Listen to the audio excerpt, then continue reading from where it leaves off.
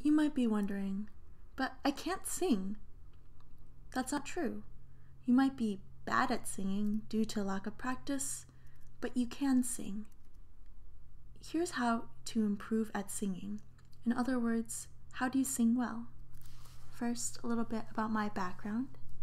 Back at MIT, I auditioned for a cappella groups, and the rejections broke my heart. I didn't sing regularly until I got a ukulele about two years ago. Singing has been important to me because I found my voice. I'm more comfortable in my body and I feel less lonely. Let me clear up a common misconception. I'm not trying to teach you how to sing. In fact, you already know how to sing. You learned how to sing when you learned how to talk babies and children invent lots of songs. This is because speech is inherently tonal. This is more true of some languages than others. For example, in Mandarin, Hi, my name is Elaine Lin becomes Ni hao, Even in English, you can have monotone speech where you repeat the same note over and over and you sound like a robot. Or you can have questions which sort of inflect upwards like this and you start sort of curious. Woo! Okay, next let's go into concrete steps you can take to improve at singing. The important thing to keep in mind is that your voice is an instrument. You might not think it's a very good instrument, but that's because musical instruments require a lot of practice, and most people don't sing much. As an analogy, I sing and I play the ukulele, but I'd be awful if I picked up a violin. I don't think I'm bad at music, but if I just tried to play the violin, I would squeak and make awful sounds and it'd sound bad. This is because the most important thing that determines whether an instrument, a voice, ukulele, violin, sounds bad or not is precision of pitch. That is, does the instrument make the right notes? In order to learn precision of pitch, you'll need to practice a lot and develop your ear. This is easy if you have musical background, harder if you don't. I'll get into concrete things you can do later. Okay. The general principle for practicing music.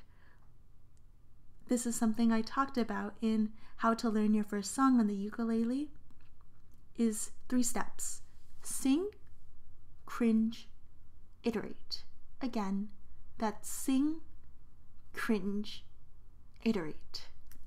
The first step is the most important one sing more. Sing to karaoke, sing to your favorite songs, have fun with it. If you're having fun with it, even if you sound terrible, then why does it matter? Who cares?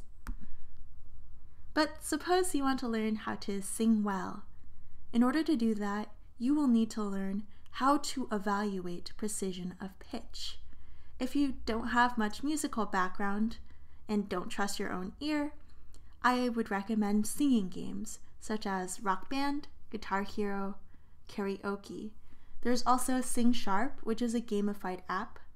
Singing along with these games and apps is useful for you because they will evaluate your pitch until you can learn to do it yourself. Many of these apps will also show you a graph of pitch versus time this is nice because you can see relative changes in your pitch over time. Okay, but suppose you already know how to evaluate pitch. For me, I started off with a lot of piano experience. The most important tip that helped me was to record my own singing.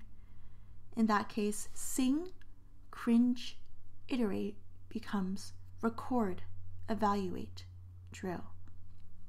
What this looks like is I would sing and record my singing. Then I would evaluate precision of pitch when listening to the recordings.